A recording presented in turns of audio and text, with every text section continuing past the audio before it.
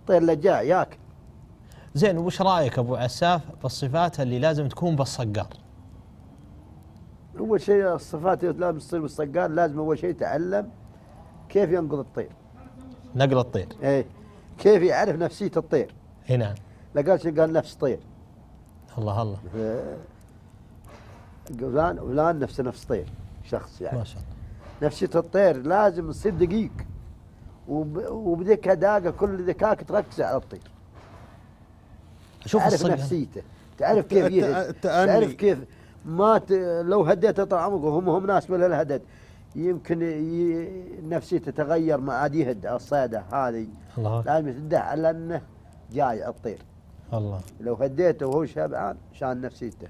ارتاح من الصيدة تخوف. تعرف صار. شبعان مهم يعني خلاص يعني يا الجوع لكن على الجوع دائما كل ما يجوع الطير وتهده والله في نفسيه في في, إيه. في أساليب يستخدمونها بعض الصقاقير. إيه.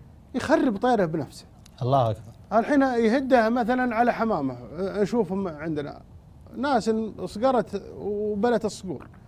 يهدها على حمامة. طرح حمامته تلها منه ونسره شوي ويلا.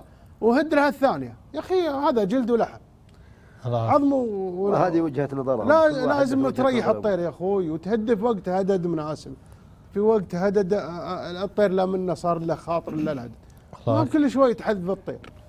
يخرب الطير. بعدين تهده ما عاد ما عاد أشوف أشوف دائما الصقارين ما شاء الله يعني تبارك الطير الله. له مزاج وله خاطر إي نعم في- إيه،. إي نعم. ها؟ حتى اذا في الصيده إذا صرت موجود زين ولا ما في واحد يدقق له بواري ويفحط على على صيده يطيرها ولا؟ لا يا أخي. خلاص راعي الطير يتصرف بهدد الطير. أنت لا تلقى.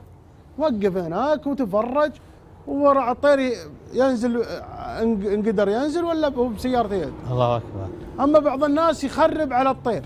الله أكبر. ولا يجي آه، ورا ورا الصيدة. ويصير بين آه، اللي بيهد وبين الصيدة.